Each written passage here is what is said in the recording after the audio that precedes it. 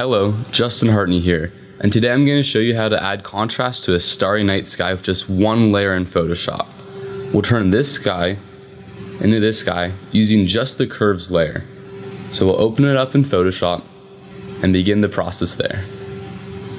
So what we're going to do is duplicate the layer and then using one of Tony Kuyper's luminosity actions, we're going to create a darks luminosity mask. And we'll go to channels to find the luminosity mask made there. And what you see, it's an invert of the image. And we're gonna pick one where it has most of the stars black and the rest of the sky as a gray. What that means is when we make the adjustments, it's gonna affect the gray and white areas, but not the black areas. So it's gonna darken the sky around the stars, making the stars pop.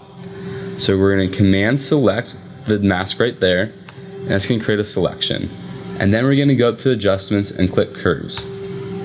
And before we edit it, we're gonna click again, option on the mask, and then command L to bring up the levels. And we're gonna boost the whites to get even more of a contrast to affect more of the night sky, and also bring down the blacks to make sure the stars aren't affected.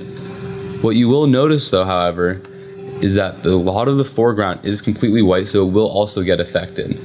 But we're gonna click W, make sure it's the quick selection tool, and select the foreground roughly. So that way we can paint that black so it doesn't affect it. And it doesn't need to be the best edit because we'll be able to brush it in afterwards to fine tune it. So we're gonna get onto the brush, make sure it's painting in black at 100% flow and 100% opacity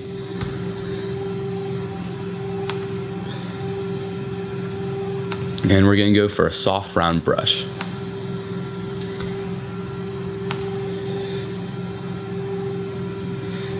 And it's not getting everywhere, but it's gonna be good enough for what we're trying to do for now.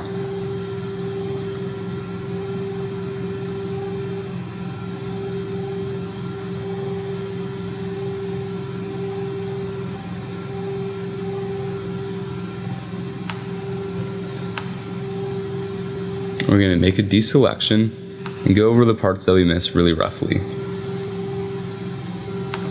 And now we'll go to the curves adjustment and under the RGB, select somewhere in the middle and pull it down.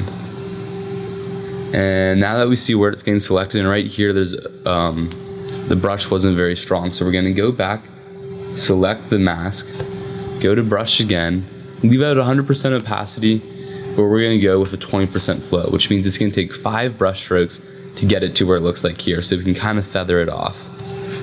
Whoops, and it's under black. We wanna make sure it's white so it's painting in the adjustment we're making into the sky.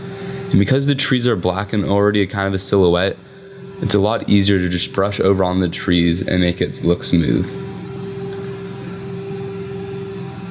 All right, so now that we've made a quick adjustment, we've turned it from that to that and we'll adjust it a little more. We could bring it down a little more to get even more of a darker sky or maybe not so much but to keep the contrast. But while using the curves layer still, we can go to the RGBs and add some color. Make a little bit more of a blue night sky, select around the middle and ever so slightly just move it up. If you move up too much, it's gonna be too blue. If you move it closer to the highlights, it will only affect part of the highlights. If you only move it down to the bottom, it's going to affect more of the darks, which is what we selected. So we'll have it somewhere in the middle, just up a little bit. And we'll also go to red. And we're not going to add red, but subtract red, which is actually going to add a cyan color into the sky. So just a little bit. And it looks like it might be a little too much blue, so we'll go back to the blue and add just a little less. So just in that one layer, with a couple quick selections on it, you can turn the night sky into something much more contrasty. It's a great starting point, but I think it's a great trick to use to make the skies pop a lot more, especially on a hazy night. Hope you guys enjoyed this tutorial. Thank you guys so much. Let me know if you have any other questions.